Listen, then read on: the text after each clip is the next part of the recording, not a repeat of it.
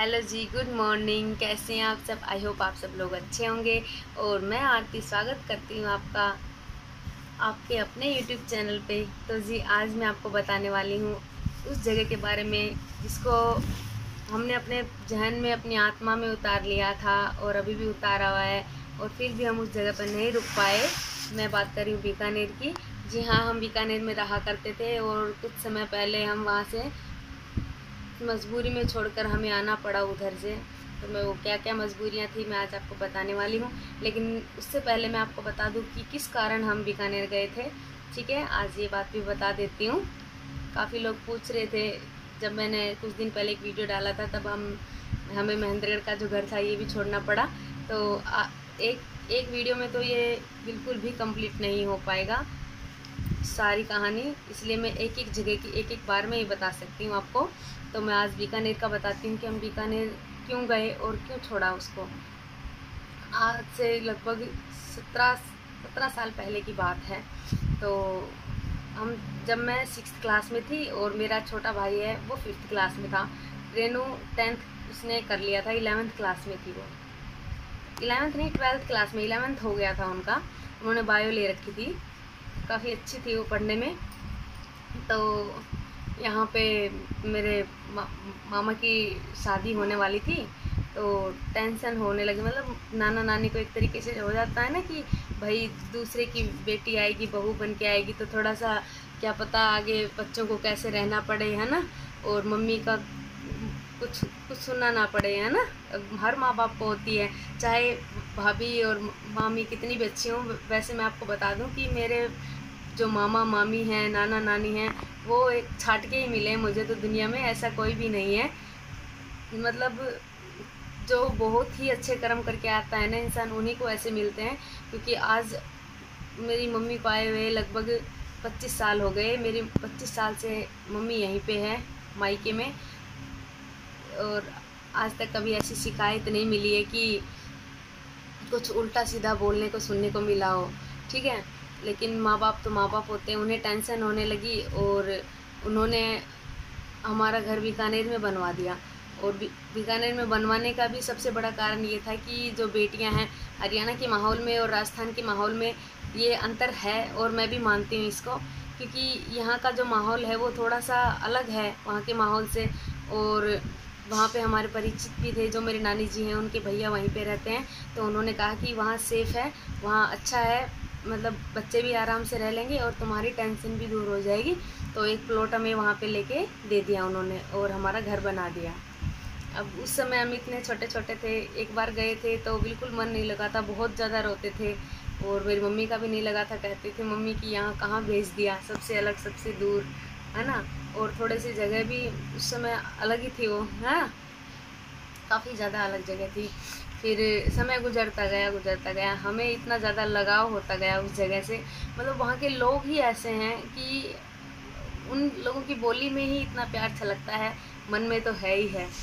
नहीं, एक बार आप राजस्थानियों की बोली सुनोगे ना तो मतलब आपको ऐसा लगेगा कि दुनिया भर का सारा प्यार इनकी बोली में ही निचोड़ दिया भगवान ने। है ना? मुझे भी राजस्थानी लैंग्वेज और राजस्थानी कल्चर पहनावा जो भी कुछ है काफ़ी ज़्यादा पसंद है। तो हम भी उसमें ढलने लगे धीरे धीरे धीरे धीरे और हरियाणा की यादें थोड़ी थोड़ी कम होती गई। अच्छा तो उतना ही लगता है, लेकिन थोड़ा थोड़ा धुंधला होता गया है समय के साथ साथ सब कुछ। और फिर मतलब यहाँ से जब वहाँ गए थे तो रेनू के पास तो बायो थी और इंग्लिश मीडियम थी यहाँ पे और वहाँ पे इतना सुविधाएँ नहीं थी। मतलब जो पास के स्कूल थे, उनमें इंग्लिश मीडियम में नहीं था। यहाँ पे पूरा इंग्लिश मीडियम है हरियाणा के अंदर। तो वहाँ जाके उसको चेंज करना पड़ा। वो बायो से सीधा आर्ट में आ गई मेडिकल से सीधा आर्ट के अंदर आ गई। बहुत अफसोस हुआ उसको। फिर दूसरी बात, जिम्मेदारियाँ भी काफ़ी आ गई थी उसके ऊपर। वहाँ जाके उसने एलेवेंथ क्लास से टीचिंग करना शुरू कर दिया था। और हम छोटे थे हम जब स्कूल जाया करते थे, हमें इतनी नॉलेज नहीं थी, लेकिन जो मम्मी और रेनू हैं, उन्हें ही पता है जो असली स्ट्रगल क्या होता है लाइफ के अंदर।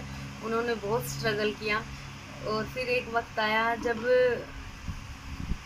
मेरा भी स्कूल कंप्लीट हो गया और मुझे भी कॉलेज जाना था। लेकिन जाएँ कैसे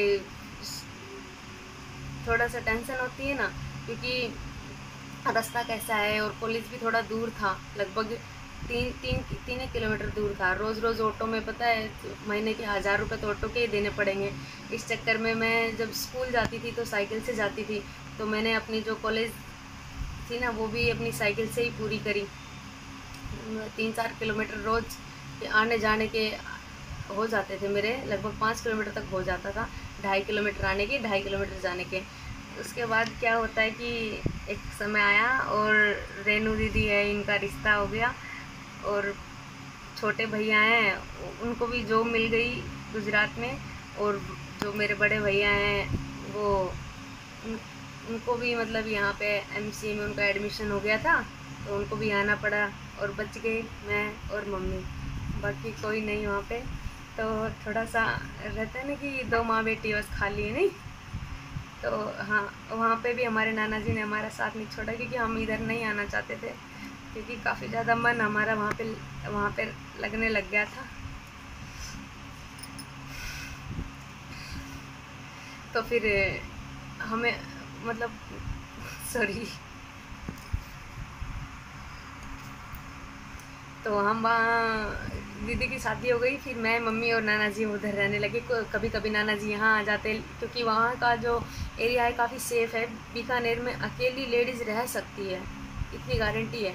अकेली माँ बेटी मतलब कोई खतरे वाली बात नहीं है। जैसे कि लोग बातें बना बना लेते हैं नहीं? यहाँ मैंने देखा है काफ़ी जगह पे इधर तो खा, खास कर बना लेते हैं लेकिन चौदह पंद्रह साल हम वहाँ पे रहे कभी ऐसी कोई बात नहीं आई कि किसी ने एक नज़र उठा के देखा हो। सब लोग इतनी रिस्पेक्ट से देखते थे और आज भी उनके कॉल आते हैं। तो रोना आँख भरी आती है कि जब वो याद करते हैं ना कि तुम लोग कहाँ गए आ जाओ। तो हमें भी सॉरी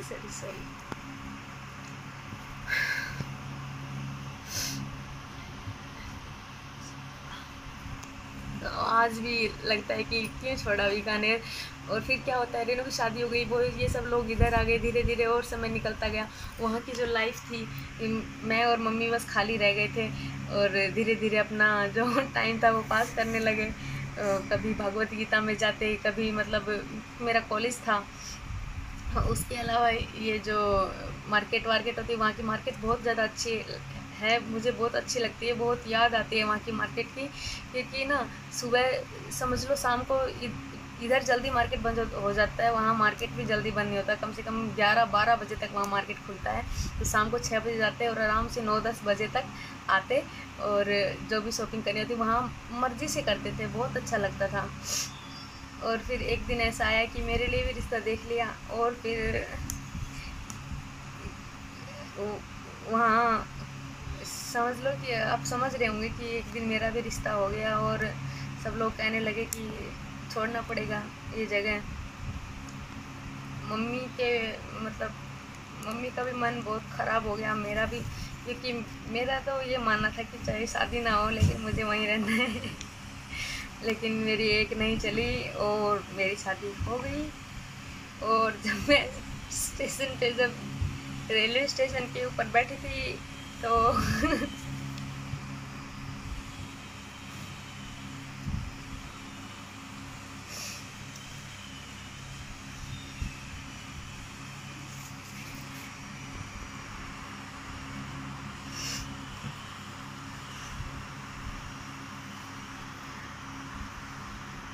आज भी मैं वो टाइम नहीं भूल सकती, जब मैं रेलवे स्टेशन पर बैठी थी और मैं उस जगह को चारों तरफ़ से देख रही थी कि वो जगह छूट जाएगी। अब हमसे अब हम बहुत कभी भी नहीं जा पाएँगे।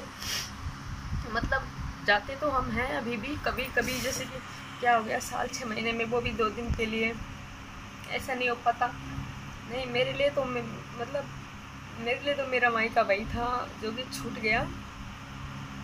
चाहे मम्मी यहाँ आ जाओ, चाहे मतलब सब लोग यहाँ हो, लेकिन मुझे जब भी, मुझे मतलब वो घर है ना, उसकी बहुत ज़्यादा याद आती है।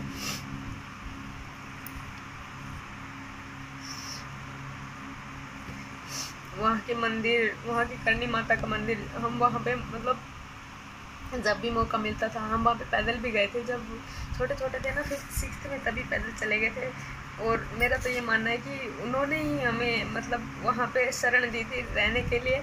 और पता नहीं कौन सा हमसे गुना हो गया जो मतलब वो जगह हमें छोड़नी पड़ी।